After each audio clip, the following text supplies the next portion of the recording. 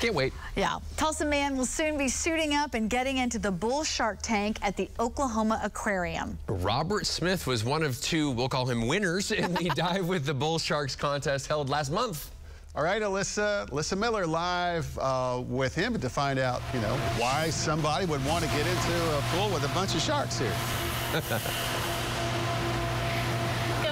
I'm behind the scenes here at the Oklahoma Aquarium with Robert Smith. He is one of the certified scuba divers that was chosen in this contest to jump in this tank with these bull sharks.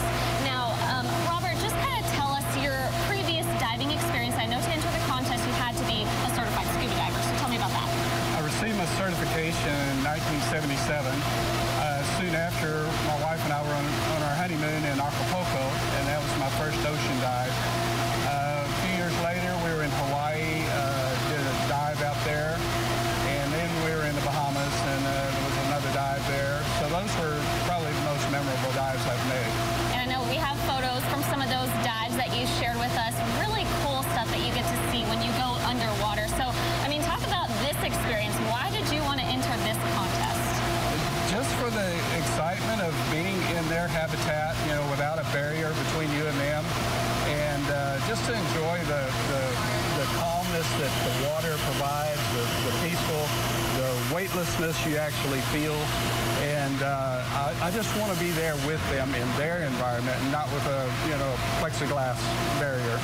Well, some people might think you're a little bit crazy because these are sharks and you're voluntarily getting in the tank with them. But what are you just hoping that you gain from this experience that you couldn't get in your other dive trips? just that up up close and uh, being very uh, next to the, the, sharks themselves and just to see them. It, as you look at them through the plexiglass walls here it's it's just amazing and they're just such a graceful animal. And I just want to see them in their habitat you know. And another cool thing the suit that you're going to be wearing is probably unlike anything else that you put on before to dive in Yes, I'm, I'm kind of anxious to see this. I'm not sure uh, exactly what its purpose is other than to slow me down and let the other divers get out first. So, but kind of kind of anxious to see how that's going to work. Well, speaking of other divers, you are from Tulsa, Oklahoma, so you were the in-state winner, but Thomas Martin, he's actually going to be getting in the tank with you, and he's from Minneapolis. So this is all happening tomorrow here at the Oklahoma Aquarium. Definitely going to be a once-in-a-lifetime opportunity. I'm for you. This will be fun.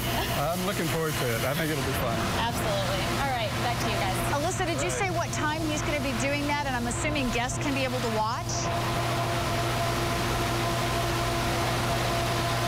Oh, no. this is oh. happening tomorrow at 3 p.m., I think. Is that right? Uh, actually, we're going to be here at 3. It's going to happen after they close. Oh, okay. So it's after 6 o'clock. That's after 6 o'clock. All right. And, uh, sometime after that. Hopefully right, we'll see you. some pictures great time. Somebody wants to jump in. Good. All right.